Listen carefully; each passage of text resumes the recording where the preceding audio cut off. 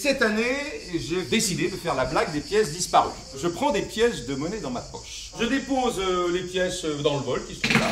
Et le truc, c'est de voir combien de temps elles vont rester. Parce qu'à un moment donné, elles vont forcément disparaître. Ah putain, comment je vous ai mangé? Et voilà T'as eu énormément de chance Énormément T'as pas vu Louise? Non, pas encore. J'espère qu'elle va mieux. C'est à cause de Mathieu. Pourquoi il est malade? Bah non, il est chiant. Mais non, mais puisqu'ils étaient à moi, c'est 2,20 euros, je vous dis. Puis j'ai déjà remboursé, j'ai mis 10 euros. Bon, bah, d'accord, allez, je peux mettre le double si vous préférez. Ah, mais je rêve Ah, faudrait vraiment être con hein.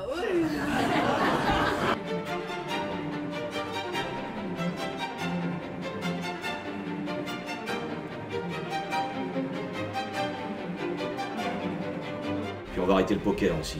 à cause de l'épaule? Non, non, à cause qu'il m'a encore fait perdre 150 euros cet enfoiré. Et ça m'a fait mal, je peux te dire. À l'épaule Mais non, au cul, Jérôme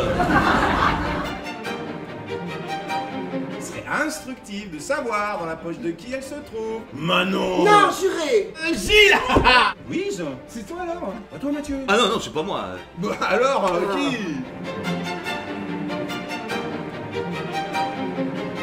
Voilà, c'était la blague à 2,20€.